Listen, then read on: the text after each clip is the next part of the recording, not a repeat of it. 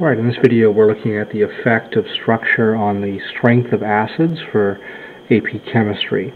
Um, we know that an acid is a substance which, when placed in water, ionize, ionizes because water molecules are taking away acidic hydrogen atoms from the, from the acid molecule. The hydrogen ions bond with water, producing hydronium cations. The acidic hydrogen atoms are those that are involved in polar bonds within the acid, and they carry positive partial charges. For example, if you take an acetic acid molecule, two carbons, one of them has three hydrogens attached like this, the other carbon has double bond oxygen, and then OH. So this is the carboxylic acid group from organic chemistry. Within this molecule, there's four hydrogen atoms, but only the hydrogen atom over here, bonded to oxygen, is considered acidic. These three hydrogens here are not acidic. Now, why is that? We know from earlier in the course that the carbon-hydrogen bond is nonpolar. They're nonpolar because the difference in electronegativity between carbon and hydrogen is so small that the electrons are shared equally. So these three bonds are all nonpolar. Therefore, the hydrogen atoms and the carbon atom there, none of them carry any kind of partial charge. They're all essentially neutral atoms. Over here, though, we have an OH bond. And oxygen, we know, is one of the top four electronegative elements on the periodic table. So oxygen takes these electrons in the shared bond and pulls them towards itself, giving the oxygen a partial negative charge and the hydrogen a partial positive charge. That means this bond is polar. Now because this hydrogen now carries a partial positive charge, if placed in water, water molecules, which are also polar, with the oxygen in the water being partially negative, they're going to be attracted to that hydrogen. Here's another water molecule as well. They surround the acid and the oxygens are going to start being attracted to that hydrogen ion, hydrogen atom rather, in the acid. And what may happen is that the water molecules may successfully pull this hydrogen away, creating a hydronium ion, H3O positive, and leaving behind the acetate ion, the conjugate base. So only hydrogen atoms that are involved in polar bonds are going to be acidic within the molecule. Now a strong acid we know is one that ionizes completely in water. So therefore essentially every molecule of strong acid has lost its acidic hydrogen atoms to water. Weak acids do not ionize completely. Um, within a solution of weak acid, a very large percentage of the weak acid molecules are going to be floating around in the water, not ionized. Three different factors determine the relative strength of acids. One of them is the strength of the bond that carries the hydrogen atom, so the strength of the bond involving the acidic hydrogen atom. The polarity of that bond also determines the strength. And then the third factor, which is a little bit beyond AP chemistry, at least at this point in the course, the stability of the conjugate base that's formed as a result of losing your hydrogen atom. So we're not going to really focus on that third factor.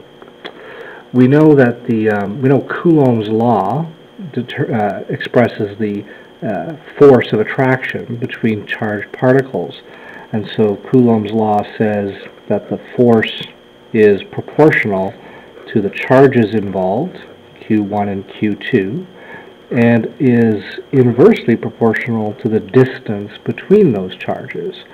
So the force of attraction or repulsion between charged particles depends on the two charges involved and on the distance between them.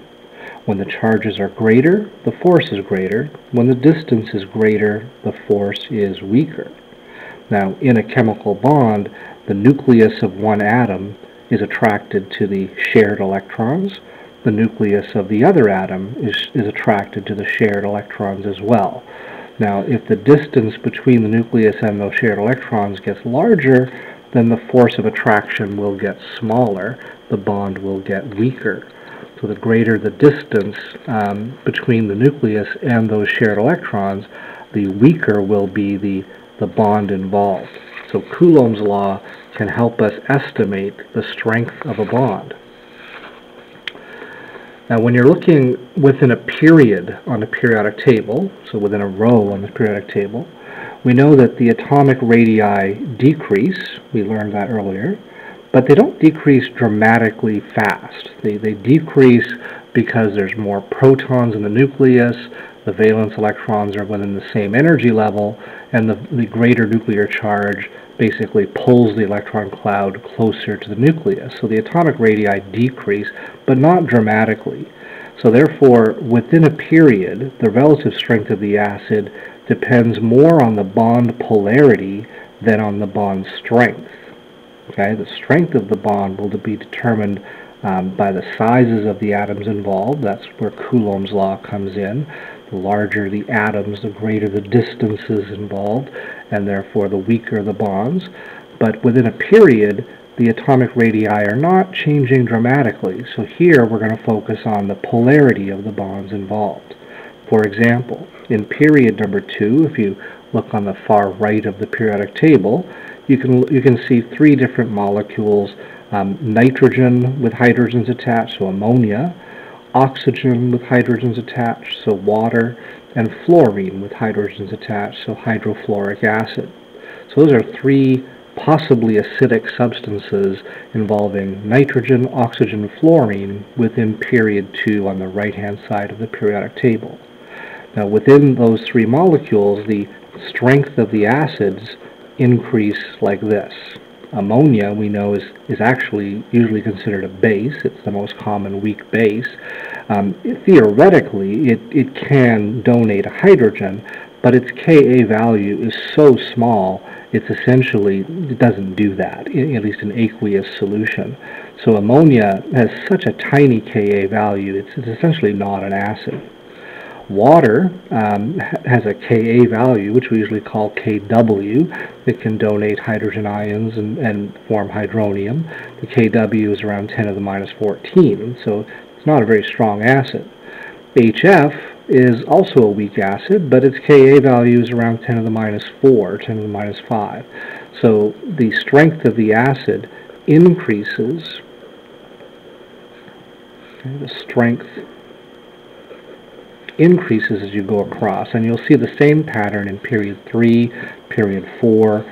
So phosphorus, sulfur, chlorine, when they have hydrogens attached, the strength of acids increase as you go across the period. Now why is that? Well, the bond strengths we'll assume are, are, are roughly, are not changing dramatically.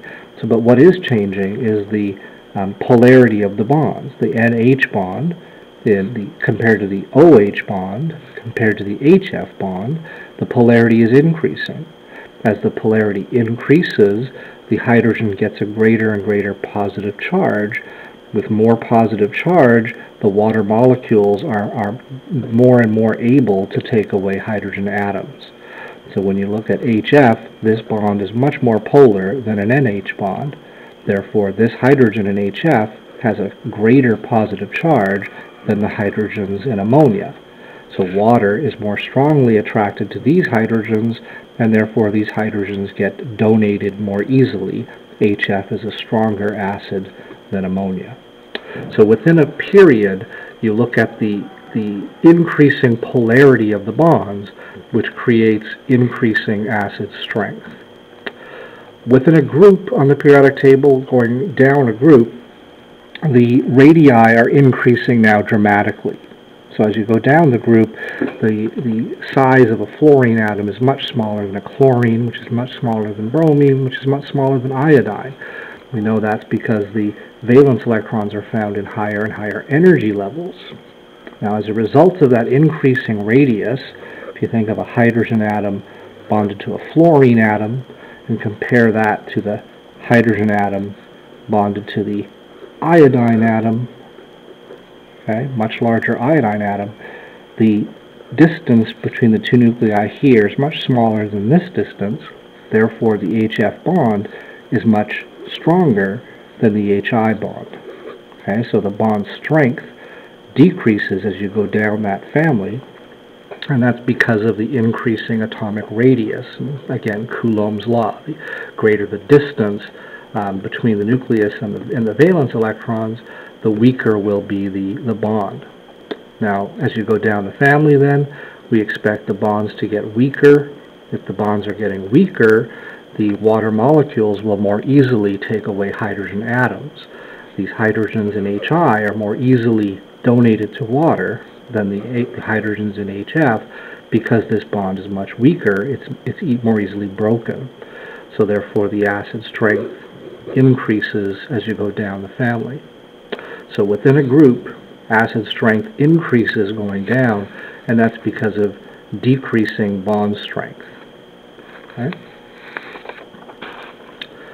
Now, a couple other situations related to acid structure, and that involves um, having looking at a, a series of acids where what you're doing is you're adding to an atom in the acid here, we're adding to oxygen, chlorine atoms. Uh, sorry, we're adding to the chlorine atom oxygen atoms. So we've got here um, ClOH or HOCl is another way to look at that acid. Over here we have HClO2, here we have HClO3, and here we have HClO4. In these acids, the H is actually bonded to oxygen atoms, as you can see. Now, what is the effect of having more and more oxygens in the acids? Well, in this acid here, HOCl, the chlorine atom has only this oxygen with the hydrogen attached. The second acid, chlorine now has another oxygen atom attached. This chlorine has two other oxygens. This chlorine has three other oxygens. Now, what's the significance of that? Well, we know that oxygens are highly electronegative. So when you start adding more and more oxygens like this, the more and more electronegative oxygens are going to pull the electron density. They're going to pull the electron cloud within this molecule more and more to the left in these pictures. So the arrows are showing electron density being pulled more and more towards the chlorine atom because of the increasing number of electronegative oxygen atoms there. Remember, electronegative means you attract electrons. Now, what's the significance of the electron cloud being pulled more and more towards the chlorine? Well, the significance of that is that the polarity of the OH bond is going to increase as a result. So when the electron density gets pulled to the left, you have here a small positive charge on this hydrogen here.